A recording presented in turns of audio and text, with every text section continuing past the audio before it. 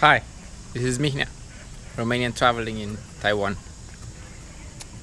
I'm in Taipei City, checking out the mountain area. I've just bought this wonderful green tea ice cream. Let's check it out. Hmm, Great.